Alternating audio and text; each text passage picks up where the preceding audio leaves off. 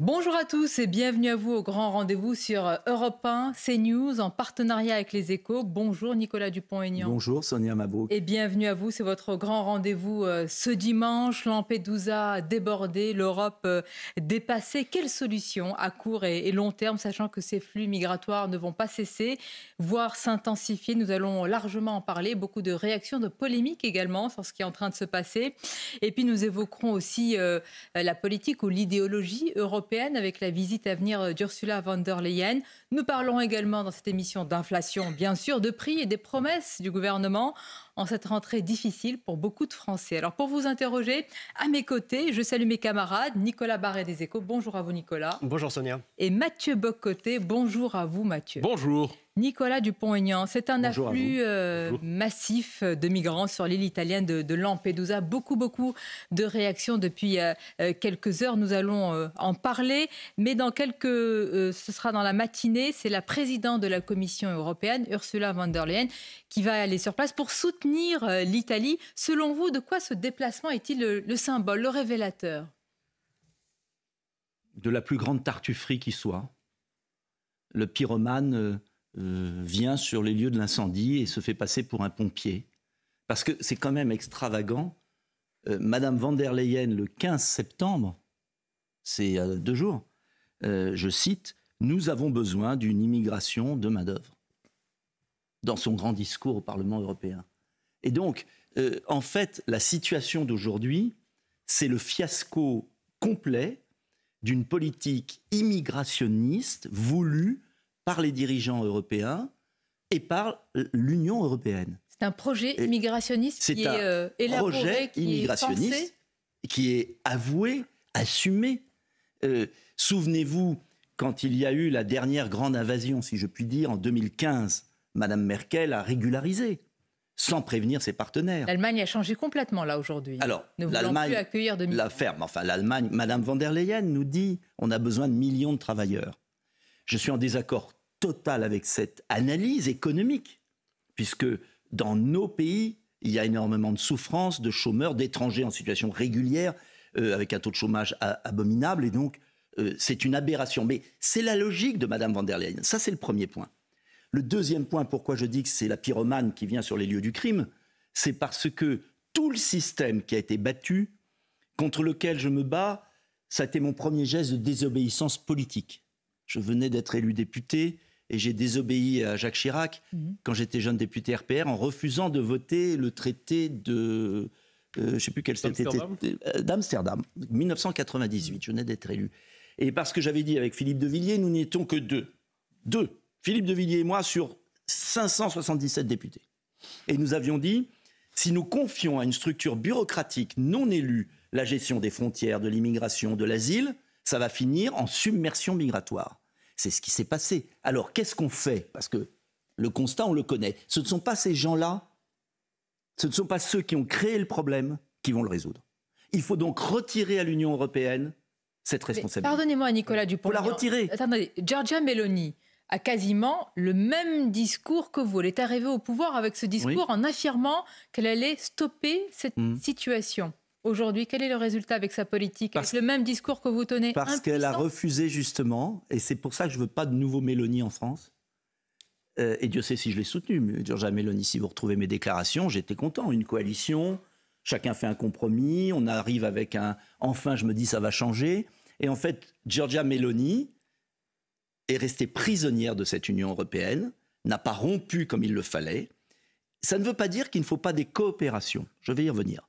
Moi, je vois trois solutions, parce que je crois que nos téléspectateurs, ils attendent pas que je commente, tout le monde commente. Ah, c'est horrible. Mais qu'est-ce qu'on fait Concrètement, et avec une chance de résultat? attendez, mais qu'est-ce que vous dites Je vais revenir. Qu'est-ce qu'on fait? Est-ce que vous, est-ce que, est-ce que vous dites comme Jordan Bardella là qu'il ne faut aucun de ces migrants déjà qui sont à Lampedusa sur le sol français? Mais il faut aucun sur le sol italien. Ah, mais, Monsieur Dupont-Aignan, nous n'y sommes plus là. Mais il faut les renvoyer. Pardon? Mais il faut les raccompagner. Comment? On les met dans des centres de rétention. Oui et on les réexpulse par des bateaux militaires. 8 000, 9 000 par des bateaux 10 000. militaires. C'est ce qu'a fait l'Australie. No way. Euh, vous savez, s'il n'y a pas une crédibilité, on n'en sortira jamais. L'Australie l'a fait. dans les, ports, de départ. Mais lesquels? Eh ben, vous savez très bien où ils sont partis. sur les côtes libyennes et tunisiennes. Vous les ramenez avec un accord. En vous les ramenez en Tunisie. En Tunisie et en Libye avec un accord. Quel accord? Avec le gouvernement. Vous croyez que c'est possible Oui. Mais vous croyez que le gouvernement tunisien va on, on, va revenir dessus. Mais Je vais revenir dessus, mais j'essaye d'être ordonné dans mon esprit. Mais attendez, mais vous croyez attendez, une attendez. que la Tunisie va accepter un accord comme oui, ça Oui, on va avoir un accord. Je, je vais vous revenir. D'abord, premier point, il faut mettre fin à Schengen, il faut que chaque pays rétablisse ses frontières nationales. Et je veux prendre 30 secondes pour l'expliquer. Pourquoi le système actuel ne marche pas? Pourquoi il n'existe dans aucune zone géographique du monde Il n'y a qu'en Europe qu'il y a ce système. Parce qu'un État ne peut être responsable que de ses propres frontières. À partir du moment où vous avez supprimé les frontières intérieures, cela veut dire que c'est le douanier grec ou italien qui est chargé de la frontière allemande ou de la frontière française. Et vous pensez bien qu'il ne peut pas être responsabilisé. On n'est responsable que de sa frontière. Mais là, c'est ce qui se passe. Non, ce qui se passe, c'est que l'Italie, excusez-moi, l'Italie et la Grèce n'ont pas de fermeté vis-à-vis de l'entrée parce qu'ils savent très bien qu'ils donnent un billet de train et que l'immigration remonte dans des pays qui ont des aides sociales plus fortes. Donc, je vous dis, première étape, rétablir les frontières nationales. La France doit reprendre en main sa politique migratoire. Mais ça On arrête rien à ce qui vient de se passer. ça changera si. Non.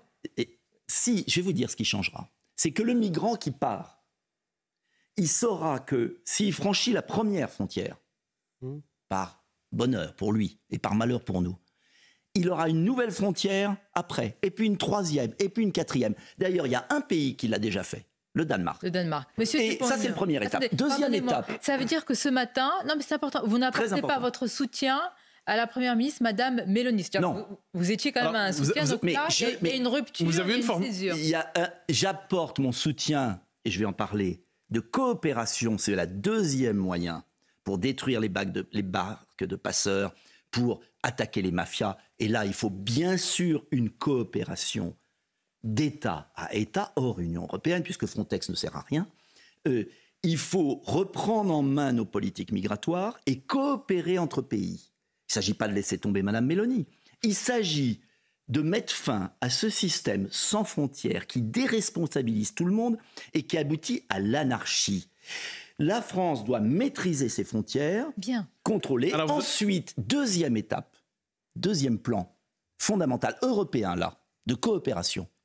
C'est vous n'allez pas me dire qu'une Europe qui donne 50 milliards à l'Ukraine, 50 milliards en pure perte, n'est pas capable de surveiller la Méditerranée, de mettre des flottes, de lutter contre les mafias, que les services secrets ne savent pas.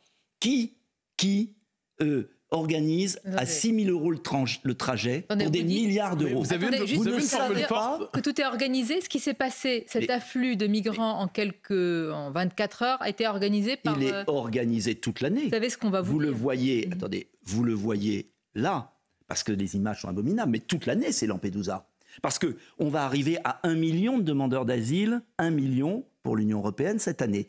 On, était en 2010. On est à 175 000 depuis le début de l'année. Non, non, non. 175 000, c'est le passage par l'Italie. Non, c'est pas vrai. 120 000. Non. Non, on est à plus de 600 000 sur la moitié de l'année. On sera à 1 million. Non, non. 1 million. On était en 2022, là sur le chiffre exact, hmm. à 962 000. 962 000. Je vous rappelle qu'en 2010, on était à 250. Donc on a quadruplé. Donc je dis que Lampedusa, les images sont atroces, mais c'est tous les jours Lampedusa. Il faut donc on rétablit nos frontières nationales, on multiplie les haies. On arrête ce système qui ne marche pas. Ensuite, on met une action contre les mafias qui organisent l'immigration clandestine et on détruit les barques sur le sol Et vous pensez que ça n'a pas été déjà fait Que personne n'y a pensé, monsieur Mais ce n'est pas vous avez, Personne ne lutte contre les passeurs aujourd'hui. Non, mais on lutte contre les passeurs par des moyens dérisoires. Frontex ne sert à rien. on déverse des milliards dans Frontex pour rien. Euh, il faut que l'armée française, l'armée italienne, l'armée grecque, l'armée espagnole, coordonnée, s'attaquent aux mafias. Ce sont des milliards d'euros qui alimentent des comptes, notamment parfois de dignitaires euh, dans des pays d'origine. Et vous n'allez pas me dire qu'on est capable de suivre l'armée russe en Ukraine et qu'on n'est pas capable euh, de suivre les passeurs vous allez me dire qu'on n'est pas capable. Et puis, troisième point, et je vais finir, assurez-vous, mais parce que c'est un ensemble, Troisième point, une vraie politique de développement africaine, parce que c'est le grand angle noir le grand raté de l'Europe. Et là, la France seule ne peut pas le faire, mais il faut le faire comment on rémunère correctement les matières premières, Bien. comment on n'exploite pas l'Afrique, etc. Sur le plan, l'urgence, elle est là. Sur le plan politique. Comment on aide la Tunisie, le Maroc et l'Algérie qui sont au bord du chaos Nicolas Dupont-Aignan, vous avez une formule sévère envers la, prise, de Madame Mélanie, et vous avez une formule que vous avez glissée entre deux virgules, et ça me semble, c'est pas un détail, vous voilà pourquoi je ne veux pas de Mélanie en France. Non, je dis... Qu'est-ce que vous vouliez dire par là? Vous avez raison. Je dis que, et c'est toute ma réflexion en ce moment, à partir du moment où on donne un espoir de reprise en main, on ne peut pas coopérer avec une organisation comme l'Union européenne qui sabote quotidiennement le mandat du peuple qu'a eu Giorgia Meloni. Giorgia Meloni est une femme courageuse qui est arrivée, qui a essayé de faire quelque chose et tout de suite, tout le monde lui a dit c'est pas possible. Les ONG sont remontées au créneau, l'Union européenne l'a saboté, eux, lui a fait du chantage, lui a fait du chantage, on ne verse pas les crédits, ne dit pas du on ne cherche pas les crédits, et donc, euh, euh, mais c'est la réalité. Et vous verrez que dans la majorité de Giorgia Meloni, heureusement, Salvini commence à le dire, en disant on est arrivé sur un projet, ce projet de reprise en main de l'Italie, eh ben on doit pouvoir le faire. Giorgia Meloni avait de bonnes idées, elle est prisonnière d'une Union européenne qui interdit et qui est un modèle immigrationniste. Il est voulu on va continuer à en parler. C'est voulu tout ça. Vous avez souvent dit, Nicolas Dupont-Aignan, que la France est trop attractive de ce point de vue pour les migrants. Comment faire dans, ce cas-là? C'est un autre point d'action fondamental. Nous allons parler juste après la pause sur Europe 1 et CNews. Merci d'être avec nous. Le grand rendez-vous européen CNews Les Échos avec notre invité, le président de Debout la France, Nicolas Dupont-Aignan. Nous évoquions évidemment avec Mathieu Bocoté et Nicolas Barré la situation à Lampedusa, plus largement en Europe. Il y a une phrase qui nous a interpellés. On va vous demander éclaircissement, euh, monsieur Dupont-Aignan, quand vous avez souligné l'ampleur de l'aide à l'Ukraine eu égard à la situation euh, euh, sur les migrants qu'est-ce que vous, vous dites par Qu'il faudrait, j'allais dire, transférer cette aide et ne plus aider l'Ukraine pour agir sur l'immigration? Oh, Je dis depuis, d'ailleurs, depuis dix ans, que euh, quand, à partir du moment où Nicolas Sarkozy avait eu la bonne idée de l'Union pour la Méditerranée, et vous savez que ce système a échoué lamentablement parce que Mme Merkel s'est opposée. On devait faire l'Union pour la Méditerranée avec les pays de la Méditerranée, on n'avait pas besoin de l'Allemagne. En fait, ce que je veux expliquer aux Français, c'est comme la France a perdu son indépendance, comme la France ne fait qu'obéir à Bruxelles. Euh, euh, la vision de la Pologne de l'Allemagne, la Scandinavie, n'est pas la nôtre. Nous, nous savons que le grand péril du XXIe siècle géopolitique, c'est pas du tout la Russie. Le vrai péril géopolitique, c'est le doublement de la population africaine qui va passer d'un milliard cinq à trois milliards. C'est en 30 ans, en une génération. C'est un défi de développement d'humanité colossal. Et ce qui m'a toujours surpris, j'étais le seul en 2017 à la campagne présidentielle à avoir un chapitre sur le développement de l'Afrique. J'étais très ami avec François Guillaume, qui était le ministre de Jacques Chirac. Euh, de l'agriculture qui avait cette idée de l'OPEP des produits agricoles. l'aide ukrainienne pour rediriger Il faut arrêter ce conflit en Ukraine qui est une aberration. Il faut arrêter de verser de l'argent là-bas. Ah bon? Oui, il faut un plan de paix. Il faut arrêter de faire le jeu des États-Unis et de la Chine qui sont en train de détruire l'Europe en affaiblissant l'Europe.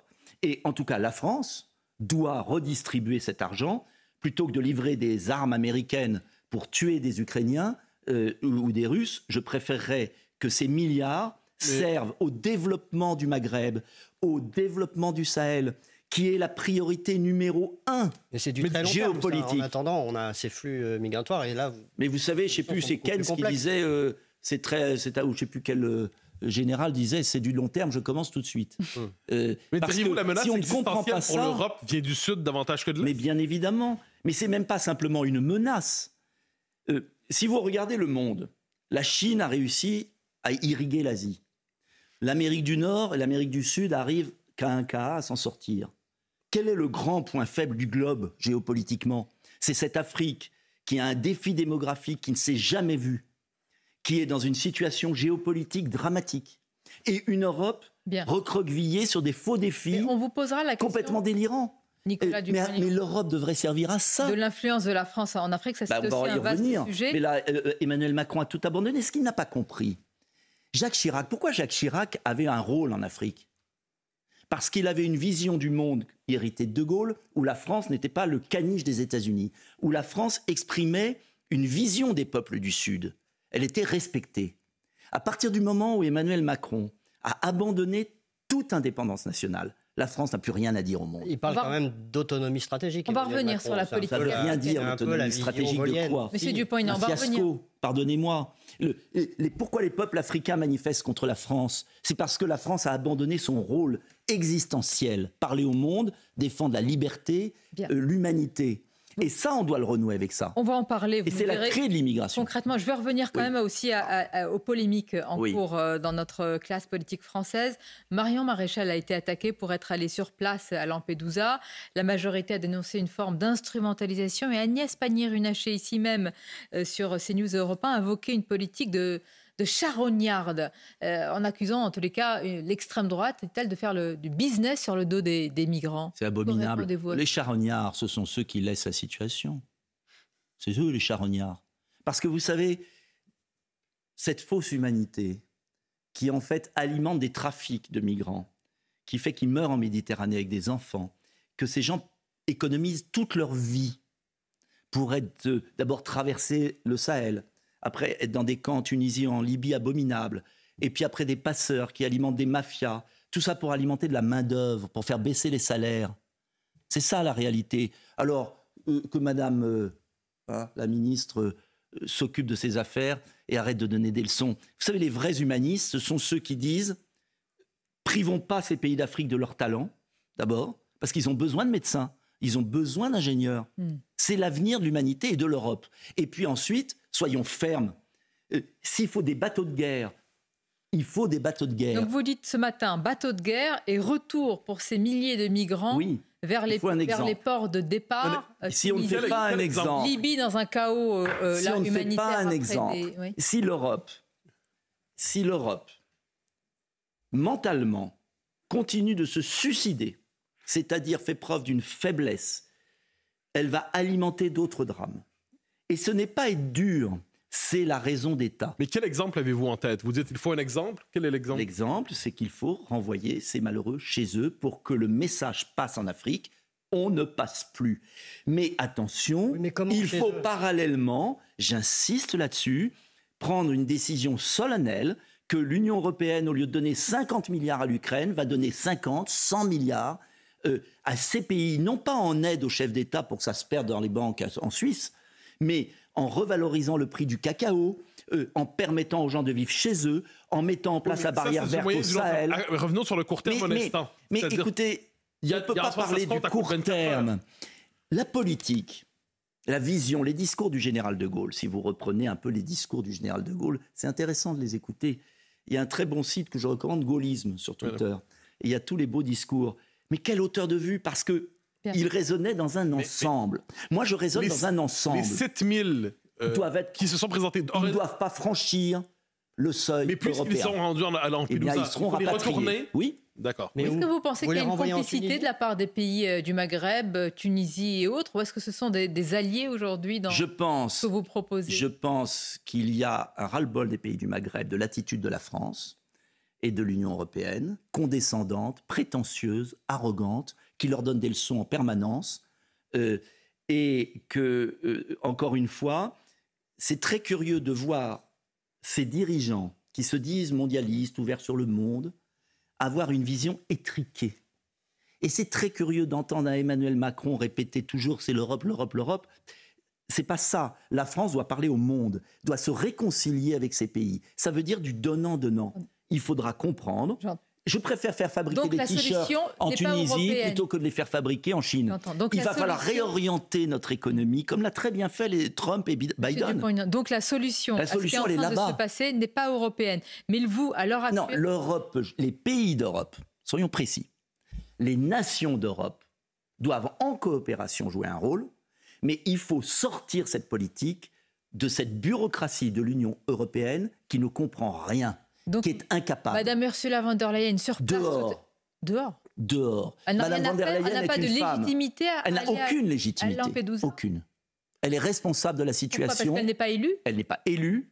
Euh, elle a un scandale de corruption sur ses achats de vaccins dont elle refuse toujours de donner les, les conditions et elle est poursuivie par la Cour des comptes européenne. Elle nuit. Euh, elle ne représente pas l'Europe pour moi. Euh, je demande que les chefs d'État, M. Macron, Mme Mélanie, euh, le Premier ministre espagnol, le Premier ministre grec se réunissent. En tout cas, si j'étais au pouvoir, je réunirais les pays du Sud et je prendrais des mesures d'État. D'État, parce que nous sommes responsables devant nos opinions. Et que si Madame Meloni ne change pas d'attitude, la déception du peuple italien sera terrible.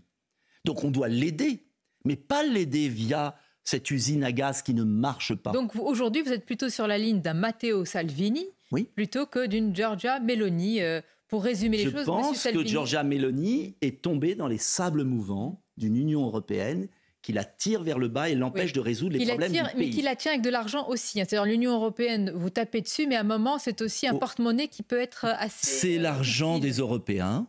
D'ailleurs, c'est l'argent souvent des Français. Mais dans la vie, vous savez, on ne gagne jamais à être acheté. Et quand l'heure est Madame Mélanie est achetée? Madame Mélanie a cru qu'il fallait obéir à Bruxelles pour gratter un peu d'argent. En attendant, elle fait face à un défi migratoire. La France doit l'aider, mais l'aider pour renvoyer les migrants, pas l'aider pour les accueillir. Parce qu'en fait, si on continue à accueillir les migrants qui arrivent en Italie, on est foutu. Dans ce Il y en aura toujours plus. Il n'y a pas besoin d'avoir fait Polytechnique pour comprendre que si vous ne dites pas stop, ça continuera. en revanche, il ne s'agit pas de dire bêtement stop, il s'agit de dire d'un côté stop, mais de l'autre, prenons une mesure de développement et de co-développement. Dans ce contexte, que vaut le, texte à venir du gouvernement qui devrait notamment prévoir la régularisation euh, des sans-papiers dans les métiers dits en tension? Eh ben, Ce texte du gouvernement est, est suicidaire. C'est renforcer l'appel d'air. L'inconstance, l'incohérence de ces gens qui nous gouvernent est sans limite. Ils ont échoué depuis 20 ans. Ils répètent les mêmes âneries en rafale. Ils sont incompétents dangereux. Mais pour vous, finalement, ils se réjouissent. Ils sont dangereux. Lorsque 7000 personnes arrivent, ils s'en réjouissent. non, ils s'en réjouissent. Ils applaudissent à Lampedusa Mais ils s'en applaudissent pas. Ils vont verser des larmes de crocodile, euh, ils vont nous raconter toujours les mêmes sornettes, rien ne va changer, et on va les retrouver dans les centres sociaux de nos villes. On va voir si voilà on dit la, même chose sur un autre sujet tout aussi sensible. non, mais c'est triste. Écoutez, Sonia Mabrouk, désolé de vous le dire, moi je préfère avoir un chef d'État en face qui dit, même s'il n'est pas euh, de mon bord politique, je m'en fiche, qui dise enfin j'ai compris, on va bloquer, on va aider l'Afrique, on va se réconcilier. Avant d'entendre, je vous ai compris, on va marquer la pause et puis on va évoquer un autre sujet tout aussi euh, sensible pour euh, les Français en cette rentrée, c'est l'inflation, euh, les prix. vous êtes aussi très à charge hein, dans, ce bah dossier. On marque une courte pause et on se retrouve sur Europe 1 et CNews. Merci de votre fidélité au grand rendez-vous Europe 1 CNews. Les échos, nous avons euh, largement parlé de la situation à Lampedusa. Nous y reviendrons peut-être en fin d'émission. Nous allons évoquer évidemment le sujet prégnant, sensible de l'inflation et des prix. Mais tout d'abord, Nicolas Dupont, une question sur euh, euh, regardez la une du journal de dimanche. Une honte, une lettre choquante. La correspondance du rectorat de Versailles aux parents euh, du jeune Nicolas provoque une onde de choc. Nicolas qui s'est suicidé après euh, une longue période de harcèlement. Gabriel Attal promet des sanctions. Est-ce que pour vous, c'est révélateur du traitement des parents d'enfants harcelés? Tout le monde a été pris aux tripes par une telle lettre aussi ignoble et inhumaine. Oui, c'est abominable c'est abominable, mais ça traduit euh, une politique qui est menée depuis des années à l'éducation nationale, du moins dans les, hautes sphères, c'est de lâcher systématiquement les enseignants, les proviseurs et les élèves dès qu'il y a une situation de danger.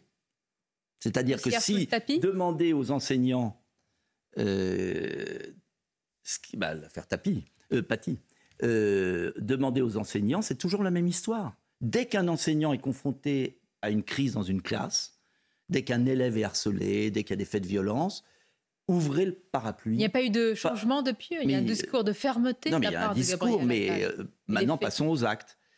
Cela veut dire aussi, parce que je le vois bien dans les établissements de ma ville et, et de ma circonscription, que depuis trop d'années aussi, on a supprimé tous les postes qui font le lien social. L'infirmière scolaire, la psychologue scolaire, le surveillant. Et je vais vous dire, euh, j'ai dans ma circonscription un très grand établissement privé que je ne citerai pas. Euh, la seule différence, c'est les mêmes cours, c'est le même enseignement, c'est la même formation des professeurs. Euh, honnêtement, il n'y a pas de grande différence. Mais la seule différence, c'est que dans l'école privée, à chaque étage, chaque niveau de scolaire, il y a un responsable qui surveille les entrées, qui écoute les élèves, qui il y a du lien. Dans le système public, on a cassé ce lien. Et donc le proviseur se retrouve avec des tensions liées aux élèves, parce qu'il y a des tensions, Mais il n'y a pas de. Est-ce qu'il n'y a pas d'avantage? Il n'y a, pas de, corps intermédiaire. Et il faut absolument, dans nos établissements, reconstruire ce tissu intermédiaire. Là, vous, au pouvoir, qu'est-ce que vous auriez fait? Le rectorat, quand même, le, le, rectorat qui était en charge à l'époque de, ce courrier, quoi, au minimum, c'est la révocation? Mais bien sûr, c'est la révocation immédiate, mais il, faut, il y a une enquête. Moi, je ne veux pas faire de démagogie là-dessus. Il y a une enquête, le ministre prendra les mesures. Mais je crois que c'est beaucoup plus profond. Euh, c'est que un, il faut qu'il y ait les personnels d'écoute avant que ça dégénère. Et deux, il faut que les instructions soient données pour qu'on crève les abcès au lieu de les laisser pourrir. Et ça, c'est toute une hiérarchie qui a été récompensée sur le pas de vague. C'est-à-dire que les promotions se font quand dans votre établissement, il n'y a pas de vague. Donc c'est l'inverse. Mais il y a une autre dimension. Le harcèlement scolaire a toujours existé, assurément. Mais il y a une amplification ces dernières années, c'est incontestable aussi. C'est parce qu'il n'y a jamais de sanctions. Mais, mais comment expliquez-vous cette amplification néanmoins? Tout simplement parce que les élèves qui agressent, qui harcèlent, ne sont jamais exclus d'aucun établissement. Jamais. Tout a été fait aussi, c'est le troisième point sur lequel je peux insister, tout a été fait pour que on n'exclue jamais un élève, parce que ça va traumatiser le pauvre élève. Mais en attendant, on laisse des classes traumatisées. Ce qui explique aussi le recul scolaire, puisque vous avez euh, des élèves. Vous savez qu'il y a des élèves qui menacent les autres élèves qui ont de bons résultats. Vous, avez vous savez que vous avez en France aujourd'hui des milliers d'élèves qui font exprès des fautes dans leurs copies parce qu'ils ont peur de se faire tabasser s'ils ont une bonne note. On en est là. Même euh, assurément. Euh, On en est là profond et cette lettre, euh, vraiment, euh, a provoqué euh, l'onde de choc méritée par son caractère. Mais que ça change dans la pratique. Sur l'inflation, Nicolas Dupont, cette semaine, sur notre antenne, le matin, lors de la grande interview sur CNews et Europe 1, le président LR de la région Hauts-de-France, Xavier Bertrand, a affirmé que l'État est en train de se constituer une, une cagnotte, dit-il, avec l'inflation et l'augmentation des prix. Qu'est-ce que vous en pensez? Est-ce que l'État est en train de s'en mettre, pour le dire un peu trivialement, plein les poches, ce qu'a dénoncé Xavier Bertrand? Xavier Bertrand a raison. Euh, L'État profite de l'inflation pour éponger ses dettes, réduire son déficit, mais comme il dépense malheureusement plus, ça ne s'arrange pas, c'est une autre affaire. Euh, ce qui est insupportable aujourd'hui, pour moi en tout cas, c'est qu'on ait une cote d'alerte. Un tiers des Français se privent de nourriture. Un tiers. Euh, vous avez 10 millions de pauvres qui ne peuvent plus vivre on voit des étudiants euh, qui sont au bord du suicide. Euh, je crois que le pouvoir est totalement inconscient, vit hors sol. Alors, une fois qu'on a dit ça, on fait quoi? Moi, j'ai des mesures concrètes. En tout cas, si j'étais en responsabilité, je prendrais quatre mesures. Première mesure sur l'essence, 30 centimes de moins. Tout de suite. 15 centimes. C'est ce qu'avait fait le gouvernement il y a deux ans. Oui, mais il ne le fait pas là. Il dit qu'il n'en a plus les moyens. Mais il a les moyens parce que de deux façons. Les déficits. 15 centimes. attendez, laissez-moi au moins proposer ma mesure. Il n'y a, pas franchement de cagnotte. L'État a dépensé 8 milliards en deux ans pour aider les consommateurs. Je vais vous revenir. Donc c'est pas une cagnotte, ça lui coûte de l'argent. Je vais vous dire comment je ferai. Parce que vous me demandez ce que je ferai. Oui, non mais... non mais attendez. Les Français, ils n'attendent pas une critique, ils attendent une solution. Oui, mais solution possible, plausible. voilà pourquoi on. Alors je sais que vous me faites du suspense, c'est bien comme ça. Le téléspectateur se dit qu'est-ce que je vais proposer? C'est bien. 30 euh, centimes tout de suite. 15 centimes en réduisant de force les marges des distributeurs. Un article du Parisien très bien fait a montré que les marges avaient explosé et doublé. Il y a du vol des surprofits des compagnies pétrolières. 15 centimes d'autorité en bloquant le prix. Deuxièmement, je supprime, comme j'ai toujours demandé, la TVA sur la taxe. Nous sommes l'un des seuls pays au monde à taxer les taxes. Ça fait 15 centimes. 30 centimes tout de suite, ça coûte 6 milliards. Ça fait surtout beaucoup 6 de milliards. tout ça. 6 milliards. Ah oui. Monsieur Bertrand a raison. Surplus de TVA lié à l'inflation. Vous savez combien? 2 milliards. 20 milliards. 2 milliards. Pas sur le pétrole, l'ensemble. Sur, l'essence, 2 non, milliards. sur l'ensemble. Donc déjà 2 milliards. 2 milliards de l'autre côté. Donc 2 milliards. Non, non, attendez, attendez, attendez. 2 milliards sur les 6, ça fait déjà un tiers. Et il a pris 20 milliards. Donc il peut rendre 6 milliards. Premier point. Deuxièmement, je fais baisser la facture d'électricité de tous les Français de moitié, de moitié demain matin, en mettant fin au marché européen de l'électricité je rétablis un prix unique de l'électricité en France, fondé sur le prix de notre électricité nucléaire. C'est possible.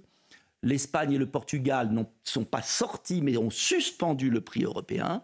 La France peut le faire. On est là.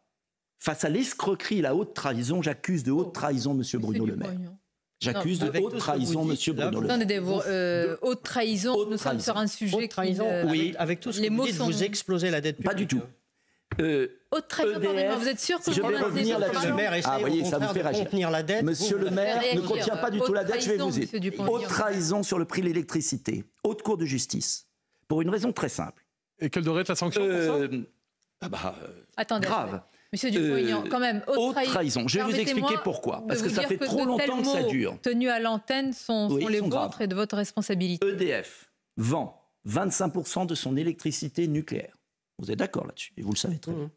À 42 euros le mégawatt, à des opérateurs privés. Vous êtes au courant Tarif à rente, vous le savez. Bien sûr. Ces opérateurs privés s'engraissent pour revendre à nos artisans TPE, boulangers, sans bouclier tarifaire, avec un seul plafond à 280, entre 42 et 280, se font un beurre considérable. Ce beurre, attention, est plafonné entre 100 et 280 par l'État qui sert à financer le bouclier tarifaire. Donc, ce que je dis, pour ne pas mécontenter l'Allemagne, qui a supprimé son industrie nucléaire et qui a une électricité très chère, pour ne pas mécontenter l'Allemagne, M. Le Maire a été décoré d'ailleurs par le gouvernement allemand, décoré il refuse de donner à la France une compétitivité, une compétitivité de son industrie. C'est scandaleux. sur ce mot. C'est scandale. Vous pouvez dénoncer un scandale, une cagnotte, un vol, si vous voulez, mais haute trahison. J'accuse de haute trahison. J'accuse. J'accuse de haute trahison mais quand des entreprises qu'on ne peut pas laisser passer nous-mêmes dans une mais émission. Mais vous laissez pas passer, c'est normal, vous faites votre devoir. Mais les Français ont quand même le droit de savoir que depuis deux ans, on pourrait revenir à une production d'électricité nucléaire. Nous produisons notre électricité nucléaire. EDF vend à 42 euros le mégawatt. On a une électricité hydroélectrique. On pourrait faire un prix national de l'électricité autour, allez, autour de 60-80 euros. Si on compte le surplus de gaz parfois, etc. Puisqu'il n'y a pas que du nucléaire. Il y a 80% de nucléaire, 60% selon les moments. Nous avons l'hydroélectricité pour obéir à l'Union européenne, pour ne pas mécontenter l'Allemagne. Mais enfin, c'est le contraire. On prive les Français. Et c'est on prive les Français. qui développe le nucléaire aujourd'hui, qui a des eh problèmes. alors pourquoi on ne fait pas bénéficier Donc, pourquoi Attendez, expliquez-moi. Pourquoi l'Espagne et le Portugal se sont extraits du marché européen Mais pour quel résultat? Pour quel résultat Parce qu'ils produisent moins cher, parce qu'il faut sortir. en termes de prix Je vais vous le dire il faut sortir de ce prix européen indexé sur le gaz allemand, qui fait que pour éviter euh, à l'Allemagne de perdre de la compétitivité, la France est enfermée dans une structure absurde. il faut que les Français vous, vous dénoncez une mauvaise politique. je, dis qu'on n'a pas le droit. vous dénoncez une mauvaise politique. Vous dénoncez une ah politique qui serait inefficace, une politique inutile. Tout ça, c'est le registre politique. Hmm? Accusé de haute trahison, c'est autre chose. Mais j'accuse. Donc Parce vous ne vous contentez pas de dire Bruno Le Maire fait une mauvaise politique, vous dites qu'il trahit son pays. il trahit son pays puisqu'il a les moyens. Est-ce que vous ne croyez pas que ça vous a plombé dans votre, dans, votre carrière politique de telles déclarations Est-ce eh que c'est pas inutile? Je crois qu'à un moment, il faut pointer les coupables. Et que je dis que... Ah, c'est quoi la sanction pour la haute trahison je vais, vous dire, je vais vous dire, il y a des domaines où M. Le Maire fait ce qu'il peut. Donc je ne lui en veux pas. Je ne suis pas d'accord avec sa politique, mais il fait ce qu'il peut, le pauvre. Mais il y a des domaines, quand on sait, et tous ceux qui travaillent dans l'électricité connaissent le scandale d'État, quand on sait que nous avons la chance avec EDF de produire de l'électricité bon marché, et qu'on a laissé une usine à gaz qui fait que nos boulangers ferment, nos entreprises dans les Vosges ferment, les TPE, les artisans, et que les Français, malgré le bouclier tarifaire, ont quand même eu 25% de hausse, qui ne peuvent plus vivre, je dis que là, il y a une mesure concrète qu'on pourrait prendre. Pourquoi ils ne la prennent pas Je vais vous le dire pourquoi ils ne la prennent pas. Parce qu'ils ne veulent pas mécontenter l'Allemagne, parce qu'ils ne gouvernent pas la France. Vous l'avez dit. Ils sont au service de l'Allemagne. On va marquer la pause et euh, je voudrais simplement préciser, et c'est notre rôle. Mais vous précisez tout ce que vous voulez. N'est-ce pas Quand des, des, mots sont utilisés ainsi, il est notre devoir euh, d'y opposer. Mais Monsieur le Maire y répondra. Contestation, il y répondra. Mais la question de Mathieu Bocoté euh, demeure. Si on est accusé de haute trahison, quelle est la sanction? Il y a la haute cour de justice qui déterminera. Une courte pause et on se Moi, je souhaite que les Français récupèrent leur électricité au prix où elle est produite. À tout de suite sur Europe 1. Pas compliqué. Le grand rendez-vous avec notre invité du jour, Nicolas Dupont-Aignan, président de Debout euh, la France. Nous allons parler dans quelques instants des européennes, cap sur les européennes. Mais tout d'abord, encore une question de Nicolas Barré sur euh, l'inflation. Oui, on vient de vous entendre sur euh, tout ce que vous disiez sur le pouvoir d'achat, sur il faut rétablir un rabais sur l'essence, il faut baisser le prix de l'électricité. Tout ça, ça crée énormément de dettes. On n'en a pas franchement besoin. Donc comment vous faites? Vous avez raison là-dessus. Moi, je ne suis pas Mélenchon et je veux au contraire réduire la dette. Là, vous n'en prenez pas le chemin. Non, je propose des mesures très concrètes, là, pour alléger la peine des Français, que je finance par ailleurs. J'ai écrit un livre où va le pognon, prémonitoire, un peu trop tôt d'ailleurs, c'était il y a un an, où je détaille 100 milliards d'économies. Ces 100 milliards d'économies, ce n'est pas M. Dupont-Aignan qui vous dit, euh, ce sont des rapports parlementaires de droite et de gauche, de gens très sérieux, euh, et qui montrent qu'il y a des choix budgétaires à faire. Et je préfère alléger la peine des Français pour qu'ils aient un prix de l'essence comme en Espagne. Euh, je préfère euh, diviser par deux le prix de l'électricité, ça coûtera zéro aux Français parce que c'est notre électricité nucléaire. Et je préfère, je fais une dépense supplémentaire, qu'elle la TVA à taux zéro, comme l'a fait le Portugal, sur les produits de première nécessité, puisque pour réduire de 20 euros un marché de 100 euros. Là, pour les plus modestes. Ils sont à 5, et, les produits de première nécessité. Non, pas tous. regardez les couches culottes, regardez, j'avais pendant la présidentielle fait un marché et on peut économiser 20 euros sur un marché, vous savez, c'est de faire vivre les Français. Ça d'un côté, mais de l'autre côté, il y a deux mesures fondamentales. S'attaquer enfin aux fausses cartes vitales, 10 milliards. S'attaquer enfin et stopper les emprunts de Monsieur le maire, qui emprunte tous les mois, il l'a encore fait là. Euh, Monsieur le maire emprunte avec Monsieur Macron depuis euh, qu'est arrivé Monsieur Macron, Monsieur Strauss-Kahn avait commencé, ils empruntent à taux variable indexé sur l'inflation 10% de la dette française. Il faut que est-ce que vous, tous les trois, tous les trois, si vous avez le choix pour acheter une maison, un emprunt à 3% fixe ou 4 maintenant que la Banque centrale a réaugmenté, un emprunt à taux variable à 9% indexé sur l'inflation en zone euro, qui va évoluer, et vous ne savez pas quelle va être l'inflation en zone euro, vous êtes ministre de l'économie de votre euh, famille, est-ce que vous dites à votre femme ou à votre mari, Oh, écoute, chérie, allez, on va emprunter à taux variable sur l'inflation, on ne sait pas combien on va payer, on s'en fiche. Il n'y en a aucun Français ne ferait ça. Eh bien, M. le maire et M. Macron le font, sur 10% de la dette. On a dû rajouter, vous savez combien, M. Barré, on a rajouté au budget de l'État en 2022 pour payer ses fautes de gestion? 12 milliards d'euros. Ces 12 milliards d'euros, ils payent largement le, coup. Donc ça veut dire quoi? Ça veut dire qu'il y a des choix qui sont faits politiques. Et ces choix, je vais vous dire, ce sont des choix d'oligarques. C'est pour favoriser les banques et les marchés financiers.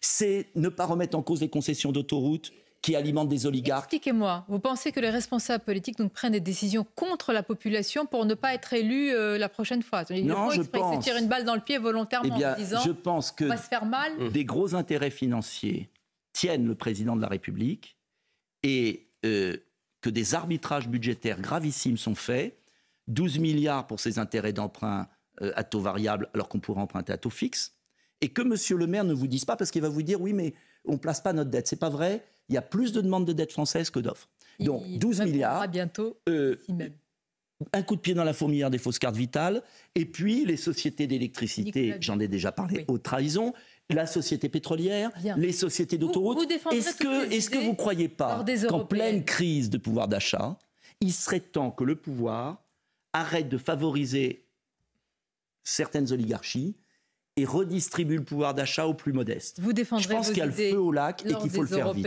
À droite, euh, euh, et à la droite de la droite, c'est un match qui se dessine entre Jordan Bardella, tête de liste RN, Marion Maréchal, tête de liste Reconquête, très probablement François-Xavier Bellamy, tête de liste pour les LR. Vous nous aviez annoncé la fois dernière justement une liste souverainiste. Où en êtes-vous?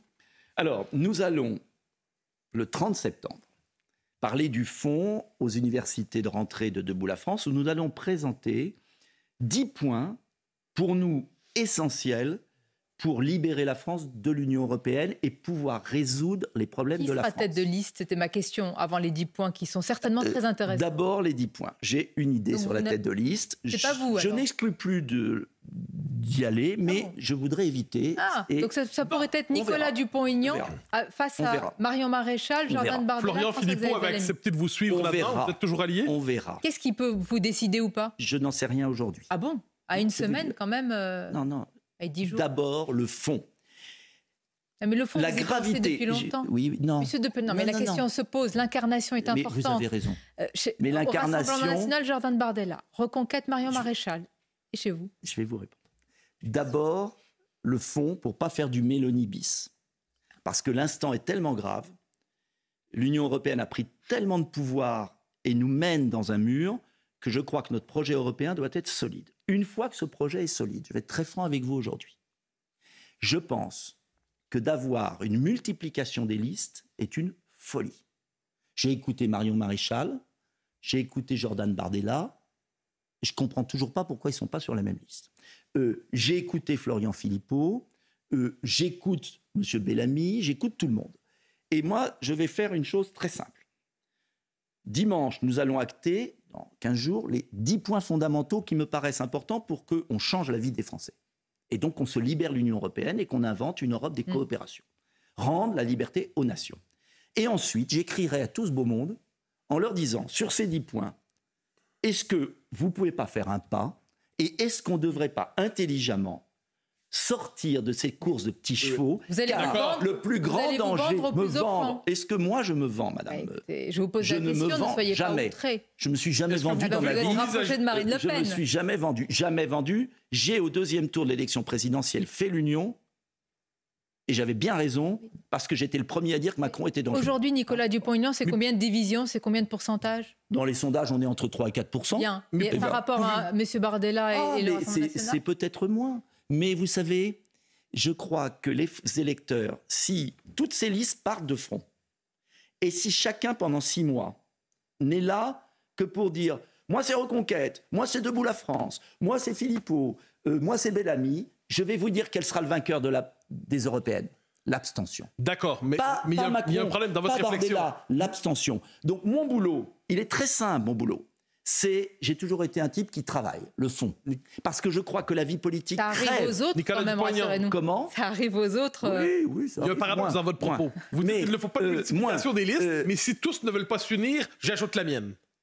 Bah si personne ne veut d'union nous irons mais donc, donc une quatrième liste. J'espère qu'il y aura une union.